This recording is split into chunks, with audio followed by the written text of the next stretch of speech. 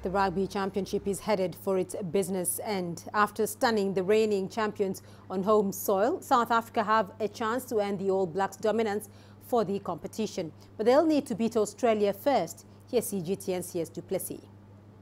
South Africa head into the penultimate round of the Rugby Championship brimming with confidence following their memorable 36-34 victory over New Zealand in Wellington.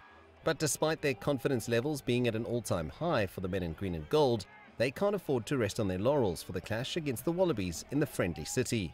I think the main thing for us is, is, is we've got uh, we've got our, our own team goals that we're focusing on. Yes, we it was a great win for us, most especially for South African rugby, but we're not going to be carried away with that win. There's still a lot of uh, room for improvement with our squads, and we're still building up to to get to the World Cup. Scrum half Faf de Klerk believes that the fact the Springboks are yet to lose at the Nelson Mandela Bay Stadium is a massive motivating factor ahead of the clash against the former world champions. I don't think there's added pressure playing there, not having lost there. I think it, it gives you a bit more confidence maybe. Um, but I think the, the boys just want to want to improve uh, on the previous game. Um, obviously, we, we enjoyed the win, but our focus has moved completely to Australia now, and, and that's really what, where our focus is on. Australia will be licking their wounds after a defeat to Argentina, and for Stick, they are an extremely dangerous outfit that will be eager to upset their hosts in the Nelson Mandela Challenge Plate on the anniversary of his 100th birthday.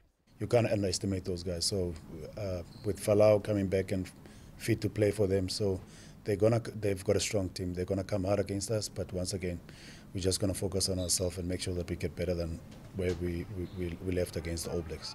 The Springboks have set the bar incredibly high after their tremendous win against the All Blacks. Now the pressure is on not only to produce another gutsy performance, but also to maintain their unbeaten record at the famous stadium named after one of the country's greatest leaders. It will be a tall order against the Wallabies, but certainly not an impossible one, and one the home side will certainly relish. CS du Plessis, CGTN,